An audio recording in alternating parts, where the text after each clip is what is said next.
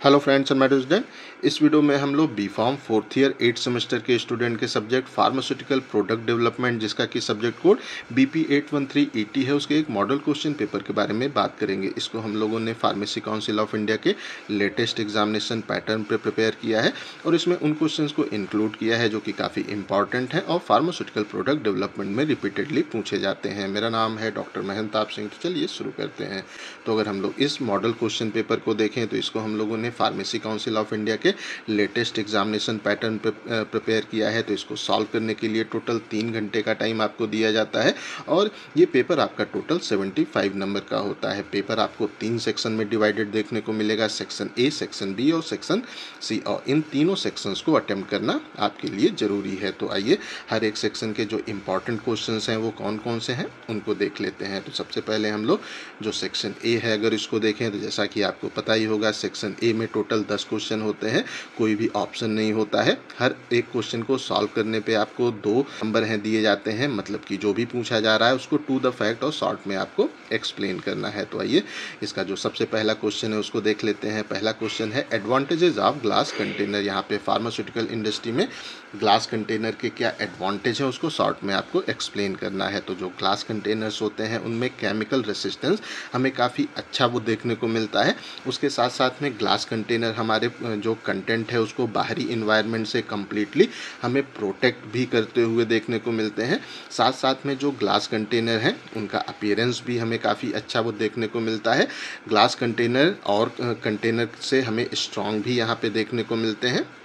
और जो glass container है, उनके अंदर कितना कंटेंट हमारा बचा हुआ है, उसकी क्या कंडीशन है, वो हमें क्लियरली विजिबल भी होता है। तो ये सारे जो एडवांटेज हैं, वो आप एग्ज़ाम में यहाँ पे लिख सकते हैं। उसके बाद में अगर हम लोग जो अगला क्वेश्चन है, उसको देखें। अगला क्वेश्चन भी काफ़ी इंपॉर्टेंट है। Name any four packages approved by the F D as tamper resistance packaging system तो एफ़ डी ए के द्वारा कोई हमारे चार ऐसे पैकेजेस के नाम आपको वो लिखने हैं, जिसने, वो जिनको एफ़ डी ए ने टेम्पर, जो हमारा रेसिस्टेंस पैकेजिंग सिस्टम है, उसके रूप में अप्रूव किया है तो हम लोग। आसान तरीके से कह सकते हैं कि जो हमारे होता है फ़िल्म जो वो रैपर्स हैं, उनको एफडीए ने अप्रूव किया है। जो ब्लिस्टर पैकेज हैं, उनको एफडीए ने अप्रूव किया है। स्ट्रिप जो पैकेज हैं, उनको जो हमारा एफडीए है, उसने अप्रूव किया है। एरोसॉल के हमारे जितने कंटेनर्स होते हैं, जो हमारे यहाँ पे ब्रेकेबल कैप्स वगैरह होते हैं, इन सबको एफडीए ने अप्रूव कर रखा है। तो इनको भी आप यहाँ पे इस तरीके से आप इस क्वेश्चन का भी आंसर कर सकते हैं। अगले क्वेश्चन पे आते हैं। अगला क्वेश्चन है हमारा इमल्सीफाइंग एजेंट। तो यहाँ पे शॉर्ट में हमें इमल्सीफाइंग एजेंट को एक्सप्लेन करना है। तो जब भी हम लोग कोई इमल्सन फॉर्म करते हैं तो उसमें दो फेजेज होती हैं। एक हमारी एक्वस फ़ेज़ होती है और एक ऑयली फ़ेज़ होती है। और एक्वस फ़ेज़ और ऑयली फ़ेज़ आपस में हमें मिसिबल देखने को प्राप्त नहीं होती हैं। तो जो हमारे इमल्सीफाइंग एजेंट हैं, ये ऐसे सब्सटेंस होते हैं जो कि एक्वस फ़ेज़ और ऑयली फ़ेज़ के बीच की इंटरफेसियल जो टेंशन है, उसको रिड्यूस कर देते हैं, जिसके कारण कि ये दोनों फेजेस हमें प्रॉपरली आपस में अच्छे से मिक्स होती हुए और एक स्टेबल इमल्सन को फॉर्म करते हुए यहाँ पे वो देखने को मिलता है। तो इस तरीके से आप इस क्वेश्चन का भी आंसर यहाँ पे कर सकते हैं। अगले क्वेश्चन पे आते हैं। ये भी काफ़ी इंपॉर्टेंट है। पॉलीइथिलीन ग्लाइकॉल तो पॉलीइथिलीन ग्लाइकॉल क्या है? इसको प्रॉपरली आपको एक्सप्लेन करना है। तो अगर हम लोग पॉलीइथिलीन ग्लाइकॉल को देखें तो ये बेसिकली जो हमारे पेट्रोलियम्स हैं, उन्हीं से हमें डेराइव होते हुए यहाँ पर देखने को मिलता है। अगर इसके हम लोग फार्माकोलॉजिकल इफ़ेक्ट के बारे में बात करते हैं तो इसको हम लोग जो कॉन्स्टिपेशन है, उसका जब हमें मैनेजमेंट करना होता है किसी पेशेंट के कॉन्स्टिपेशन है तो उस कंडीशन में हम लोग पॉली एथिलीन ग्लाइकॉल को यहाँ पे जो उपयोग करते हैं। फार्मास्यूटिकल इंडस्ट्री में देखें तो वहाँ पे हम लोग पॉली एथिलीन ग्लाइकॉल को एज ए जो लुब्रिकेंट है, उसकी तरह अपने जो प्रिपरेशन है, उसमें हम लोग यूज़ कर सकते हैं। और इसको हम लोग बाइंडिंग एजेंट के रूप में भी यहाँ पे यूज़ करते हैं। तो इस तरीके से आप इस क्वेश्चन का भी आंसर यहाँ पे कर सकते हैं। आइए अब अगले क्वेश्चन पे आते हैं। ये भी हमारा काफ़ी इंपॉर्टेंट है। ये है type of problems in optimization तो ऑप्टिमाइजेशन की जो प्रोसेस है, उनमें हमें कितने टाइप की प्रॉब्लम्स देखने को मिलती हैं, उनको आपको शॉर्ट में यहाँ पे वो लिखना है। तो अगर हम लोग सिंपली देखें तो ऑप्टिमाइजेशन की जो हमारी जो प्रोसेस है, उसमें हमें दो टाइप की प्रॉब्लम सिंपली देखने को मिलती है। एक जो प्रॉब्लम है, वो हमारी जो कंस्टेंट प्रॉब्लम है, वो कहलाती है। दूसरी हमारी अनकंस्टेंट जो प्रॉब्लम है वो यहाँ पे होती है। तो इस तरीके से आप इस क्वेश्चन का भी आंसर यहाँ पे कर सकते हैं। अगले क्वेश्चन पे आते हैं। ये है हमारा, ये है mention the element of quality by design तो क्वालिटी बाई डिज़ाइन जो क्यूबीडी है, उसके जो एलिमेंट्स हैं, उनको हमें सिंपली यहाँ पे मेंशन करना है। तो इसमें अगर हम लोग बात करते हैं तो इसका जो पहला हमारा एलिमेंट है, वो है टारगेट प्रोडक्ट प्रोफ़ाइल उसके बाद में दूसरा एलिमेंट है हमारा दैट इज़ कॉल्ड द ये कहलाता है टारगेट प्रोडक्ट क्वालिटी जो प्रोफ़ाइल है, वो यहाँ पे होता है। अगला क्रिटिकल क्वालिटी एट्रीब्यूट है, उसके बाद में जो क्रिटिकल हमारा मटेरियल एट्रीब्यूट है, जो है, वो इसका यहाँ पे एलिमेंट होता है प्रोसेस के जो पैरामीटर्स हैं, वो हमारे यहाँ पे क्वालिटी बाई जो डिज़ाइन है, उसके हमारा जो एलिमेंट है, वो होता है। साथ साथ में जो डिज़ाइन स्पेस है, वो भी हमारा यहाँ पे क्वालिटी बाई डिज़ाइन का एलिमेंट यहाँ पे होता है। तो इस तरीके से आप इस क्वेश्चन का भी आंसर यहाँ पे कर सकते हैं। अगले क्वेश्चन पे आते हैं। अगला क्वेश्चन भी हमारा काफ़ी इंपॉर्टेंट है। Classification of non ionic surfactant तो जो हमारे नॉन आयनिक सर्फेक्टेंट होते हैं, उनको हमें सिंपली यहाँ पे क्लासीफाई करना है। तो जो हमारे नॉन आयनिक होते हैं सर्फेक्टेंट इसको हम लोग दो टाइप में सिंपली डिवाइड करते हैं। एक हमारा होता है, कहलाता है वाटर इनसॉल्बल और जो हमारा दूसरा है, वो होता है वाटर सॉल्बल तो अगर हम लोग जो वाटर इनसॉल्बल हमारे नॉन आयनिक सर्फेक्टेंट है, उसके एग्ज़ाम्पल को देखें तो इसमें हमारा जो फैटी एल्कोहल है, वो आ जाता है।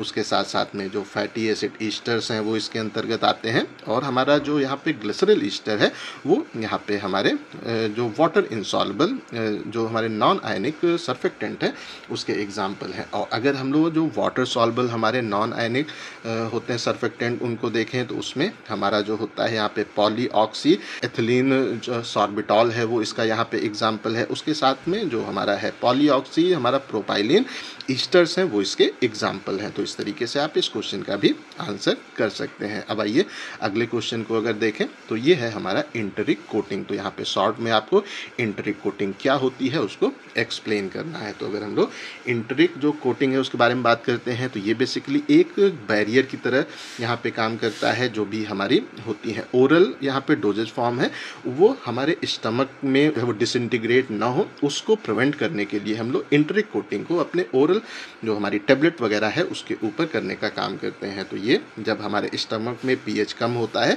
तो उस कंडीशन में हमारा जो जो ड्रग का रिलीज़ है, उसको वहाँ पे रोक के रखता है। और जैसे ही हमारी ड्रग स्टमक को क्रॉस करके स्मॉल इंटेस्टाइन में आती है, और वहाँ पे पीएच इंक्रीज़ होता है, वहाँ पे हमें अपनी ड्रग जो है, वो रिलीज़ होते हुए सिंपली देखने को मिलती है। और ये इंटरिक जो कोटिंग है, उसी के कारण हमें देखने को मिलता है। तो आप इस तरीके से इस क्वेश्चन का भी आंसर कर सकते हैं। अगले क्वेश्चन पे आते हैं। अगला क्वेश्चन है हमारा write about the LAL test तो लाल टेस्ट क्या होता है? उसको हमें शॉर्ट में यहाँ पे एक्सप्लेन करना है। तो बेसिकली अगर हम लोग यहाँ पे देखें तो जितने भी हमारे ग्राम वो निगेटिव बैक्टीरिया होते हैं, वो चाहे वायबल हों या नॉन वायबल हों, उनको डिटरमाइन करने के लिए हम लोग जिस टेस्ट को यूज़ करते हैं, उसको हम लोग लाल टेस्ट के नाम से सिंपली इंडिकेट करते हैं। तो इस तरीके से आप इस क्वेश्चन का भी आंसर यहाँ पे कर सकते हैं। अगले क्वेश्चन पे आते हैं डिफाइन ऑप्टिमाइजेशन तो ऑप्टिमाइजेशन क्या होता है, उसको आपको शॉर्ट में यहाँ पे डिफाइन करना है। तो हम सिंपली कह सकते हैं कि जितने भी हमारे अवेलेबल जो हमारे रिसोर्सेज हैं, उनको अगर हम लोग इफ़ेक्टिवली जो है यूज़ करते हैं और उसके अनुसार अपनी प्रोसेस को डिज़ाइन करते हैं तो इस प्रोसेस को हम लोग बेसिकली ऑप्टिमाइजेशन के नाम से इंडिकेट करते हैं। जितने भी हमारे पास रिसोर्स अवेलेबल हैं, उनको अगर हम लोग अच्छे से उपयोग करें और एक अच्छी प्रोसेस को, एक अच्छी जो हमारी टेक्निक है, उसको डेवलप करें तो उस कंडीशन में इस प्रोसेस को हम लोग ऑप्टिमाइजेशन प्रोसेस के नाम से सिंपली इंडिकेट करते हैं। तो इस तरीके से आप इस क्वेश्चन का भी आंसर कर सकते हैं। अब आइए हम लोग जो दूसरा सेक्शन है सेक्शन बी उसमें आ जाते हैं।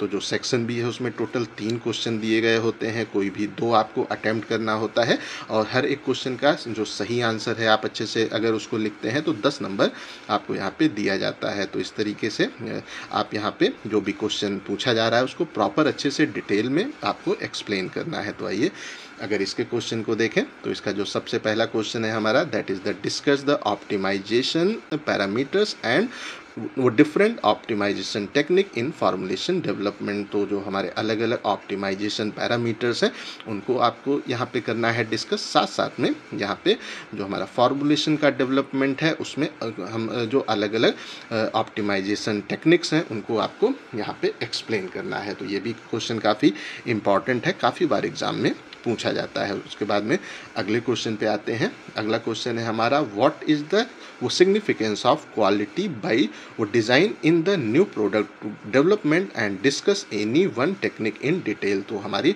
वो कौन कौन सी यहाँ पे वो टेक्निक है, जिनको हम लोग अपने प्रोडक्ट का जब डेवलपमेंट करते हैं तो उसको यहाँ पे यूज़ करते हैं और उनमें से किसी एक टेक्निक को आपको प्रॉपरली डिटेल में यहाँ पे एक्सप्लेन करना है। ये भी क्वेश्चन काफ़ी इंपॉर्टेंट है, इसको भी एग्ज़ाम में जाने से पहले अच्छे से तैयार कर लीजिएगा। अगले क्वेश्चन पे आते हैं।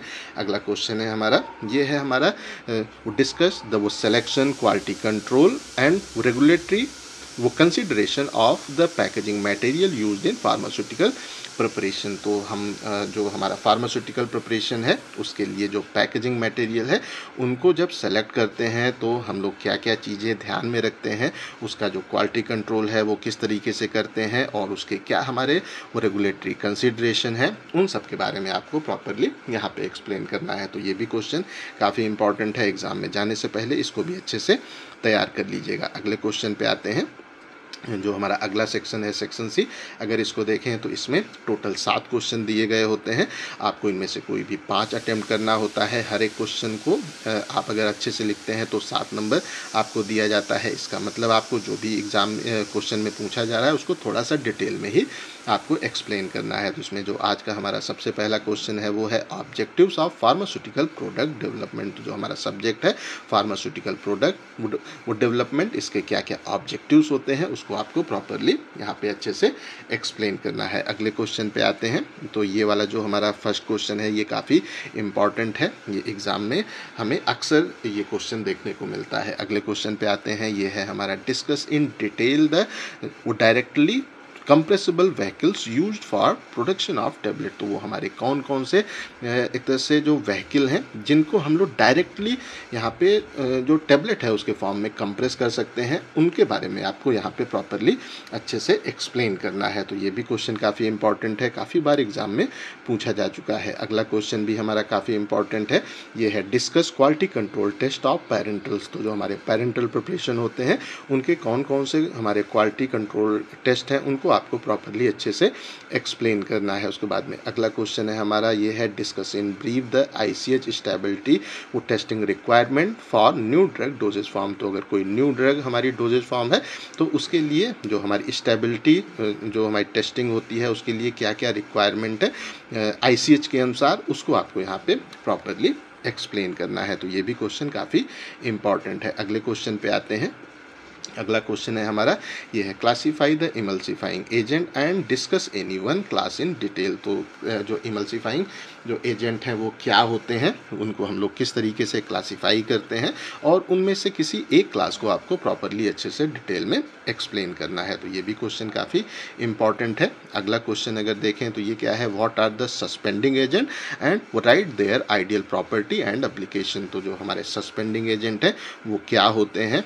और उनकी क्या आइडियल प्रॉपर्टीज़ होनी चाहिए और इसको हम लोग क्यों यूज़ करते हैं, इसके क्या अप्लीकेशंस हैं, इनको आपको प्रॉपरली अच्छे से एक्सप्लेन करना है। और अंतिम क्वेश्चन को अगर देखें तो ये है हमारा give the importance of the pre formulation study तो जो हमारा प्री फॉर्मुलेशन स्टडी है, उसके क्या क्या इम्पॉर्टेंस होते हैं, उसको आपको यहाँ पे एक्सप्लेन करना है। तो इस तरीके से ये जो जितने भी क्वेश्चन हम लोगों ने देखे, वो काफ़ी इंपॉर्टेंट है।